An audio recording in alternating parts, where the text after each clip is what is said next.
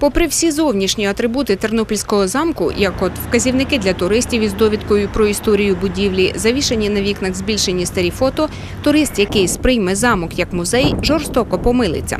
У 400-літній будівлі, що є символом Тернополя на гербі міста, розміщена серед іншого спортивна школа. Так не має бути, визнає і міська влада, тому і вже прийняла низку рішень щодо відновлення історичних пам'яток Тернополя.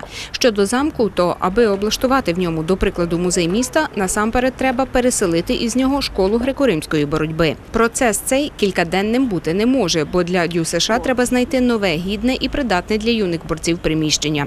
На початку квітня цього року виконком Тернопільської міськради затвердив перелік проєктів, для яких Тернопіль шукає інвесторів. У цей перелік увійшло і майбутнє приміщення школи греко-римської боротьби.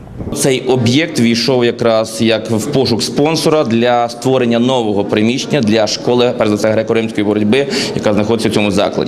Але окрім цього, відповідним підрозділом міської ради, це просто гуманітарні підрозділи, які займаються питаннями спорту, сім'ї молоді. Вже близько року ведеться питання пошуку місця або переїзду цієї школи. Чи знайдеться інвестор, покаже час. Та міські урядники вже зараз називають час, коли Тернопільський замок стане місцем, яке туристи оглядатимуть не тільки зовні. Я думаю, що думаю, максимально наступного року цей об'єкт стане дійсно історичним, дійсно туристичним, де будуть е, де будуть приходити наші е, громадяни міста Тернополя, жильці, гості міста, туристи з інших країн, і ми будемо з гордістю приводити їх і показати якраз історичний е, об'єкт нашого міста, який є напевно першим об'єктом, який візит- візиткою нашого міста.